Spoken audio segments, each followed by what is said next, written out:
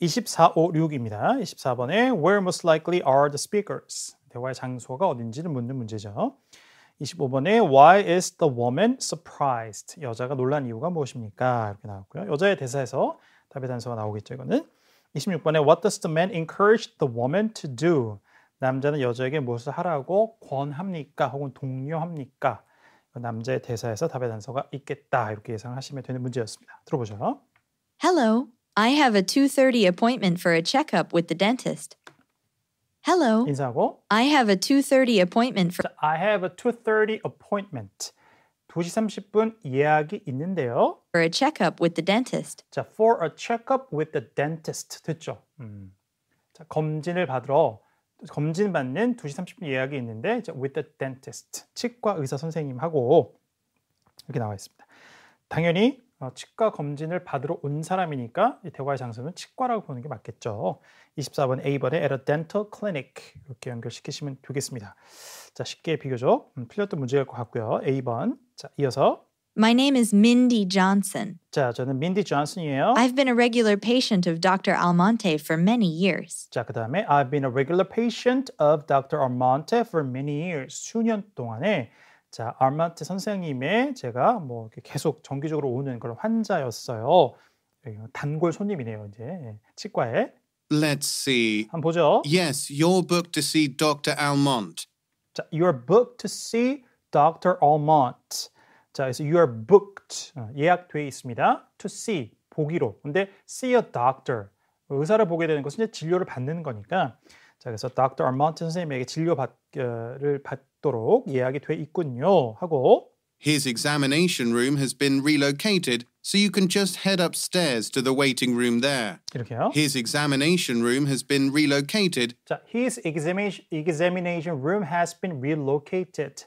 자, 의사 선생님 Dr. Armonte의 자, 진료실이 검사실이 자, 이전되었습니다. 이전했습니다. 하고 so you can just head upstairs to the waiting room there. So you can just head upstairs to the waiting room there.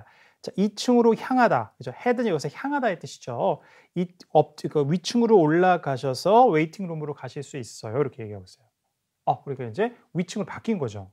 진료실이 Upstairs? upstairs. 자, 위층이라고요? 하면서 I thought your business was just one floor. I thought your business was just one floor. 어, 지금 여기 이게 business니까 이거는 이제 뭐 의사 아, 음, 치과니까 여기 치과가 이렇게 이제 번역하는 게 가장 이제 매끄럽겠죠. 이 업체를 얘기하는 거니까. 자, 그냥 한 층인 줄 알았는데요. 어, 치과가 한 층인 줄 알았는데요. 약간 놀랐죠.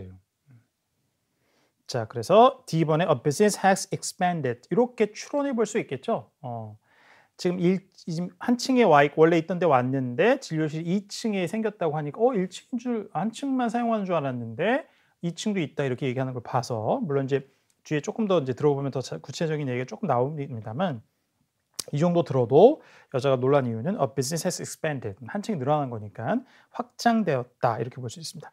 자, 6포인트에서 만약에 정답을 못 잡았으면 조금 더 들으면 더 확실한 게 나와요. It was just the third floor for a long time. 자, it was just third floor for a long time.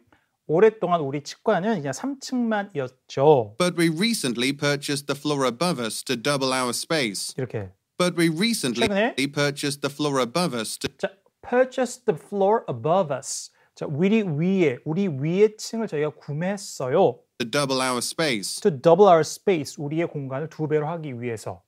그러니까 순차적으로 해석을 하시면 we recently purchased the floor above us. 자, 우리 위쪽의 층을 샀고 그래서 자, double our space. 우리 공간을 두 배로 만들었습니다. 이렇게 해석해도 무리가 없죠. 투부정사 항상 이렇게 뭐뭐 하기 위하여 거꾸로 끌어오면 듣기상에서 해석이 매우 어렵기 때문에 그냥 순차적으로 해석하시는 게 바람직합니다. 자, 확실하죠? 그럼 25번에 D. 자, 비즈니스가 확장된 겁니다. 자, 그리고 나서 Oh, really? 아? That's great. Oh, that's great. Actually, if you wouldn't mind, we'd love to get your opinions on the change. 이렇게요. Actually, if you wouldn't mind, Actually, if you wouldn't mind. 어, 어 실은요. 괜찮으시다면, 꺼려하지 않으신다면, 개의치 않으신다면 we'd love to get your opinions on the change. 자, we love to get your opinions on get your opinion on opinions on the change. 이 변화에 대해서 당신의 의견을 좀 저희가 받고 싶습니다. 그러니까 이제 이렇게 한 층이 더 늘어났는데 이거에 대해서 어떻게 생각하시는지 좀 의견을 듣고 싶다 이런 얘기죠. There's a survey card you can fill out. 자, there's a survey card that you can fill out.